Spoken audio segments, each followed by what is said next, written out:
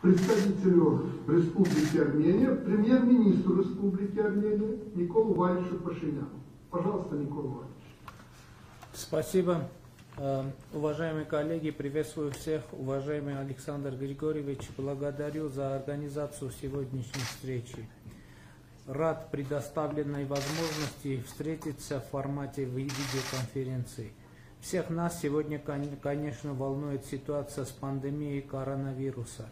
И поэтому начну с информации о состоянии дел в Армении. Должен сообщить вам, что обстановка у нас в целом находится под контролем. На сегодняшний день мы имеем 1067 случаев заражения, 265 выздоровевших и, к сожалению, 16 человек умер от коронавируса. С 16 марта в Армении действует режим чрезвычайной ситуации, который мы э, продлили до 14 мая. Начиная с 23 марта у нас действует режим строгого карантина. С сегодняшнего дня в нем введены определенные послабления, расширяющие перечень отраслей, в которых разрешена экономическая деятельность. Как и практически все государства, подвергшиеся пандемии, мы ввели жесткие ограничения в сфере внешних транспортных коммуникаций. Правительством Армении был также принят пакет мер из пока что 11 мероприятий с целью смягчения социально-экономических последствий пандемии как для населения, так и для бизнеса. Наряду с этим э, предпринимаются серьезные меры по стимулированию экономики и преодолению тяжелых кризисных явлений, неизбежность которых уже никто не ставит под сомнение.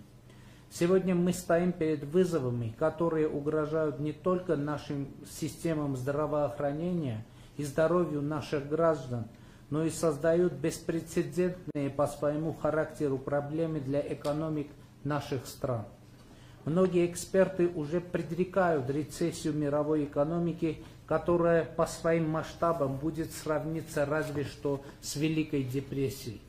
Ситуация усугубляется тем, что неизвестно, как долго будет длиться пандемия и каковым будет ход его развития в ближайшем будущем.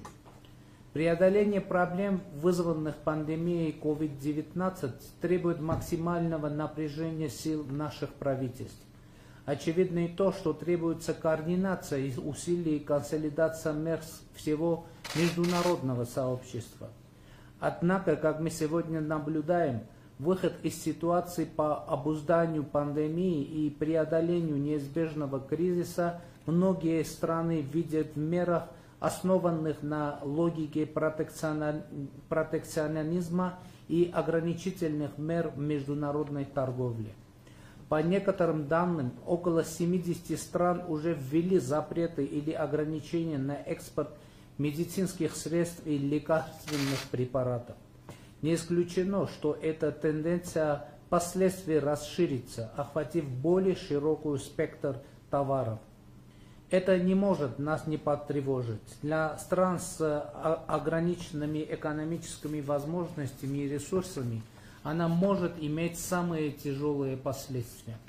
Мы поддерживаем иную стратегию, стратегию, построенную на философии сотрудничества и партнерства. Первостепенным в этом плане для нас является сотрудничество в рамках нашего союза.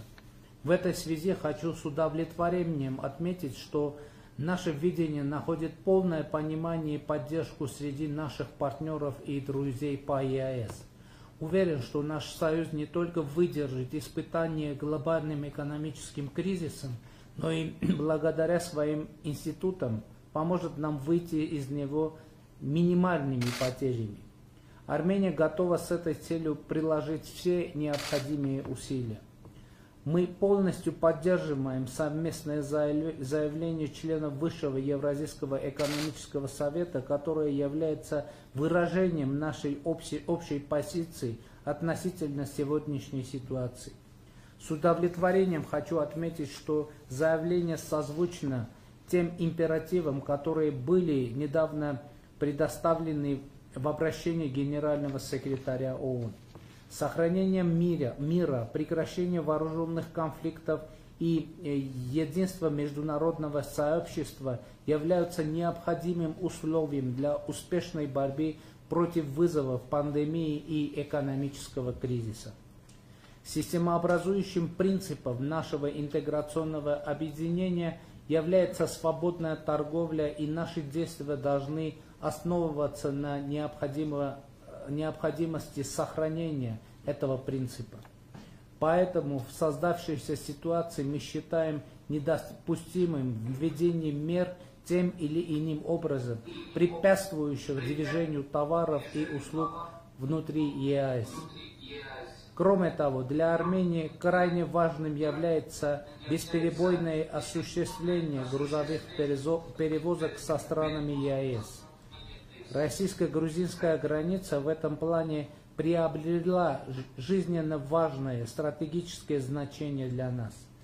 Наконец, учитывая намечающуюся неопределенность мировой финансовой системы, считаем необходимым ускорить процесс принятия мер для максимально возможного увеличения доли, доли платежей в национальных валютах в торговле внутри ЕАЭС. Уважаемые коллеги, в контексте первоочередных задач, стоящих перед нашей организацией, хочу подчеркнуть важность мер, направленных на обеспечение экономической стабильности в условиях развития пандемии – принятых на недавнем заседании Евразийского межправительственного совета. Из общего числа мер, в частности, хочу выделить создание зеленых коридоров. Очевидно, что упрощение таможенных процедур имеет принципиальную важность для поддержания внешнеэкономических связей нашей страны. В создавшихся условиях хотел бы также выделить приоритетность реализации мер, связанных с цифровой повесткой Союза. Наконец, следует отметить целесообразность мер по оказанию Евразийским банком развития кредитного содействия странам-участникам Союза.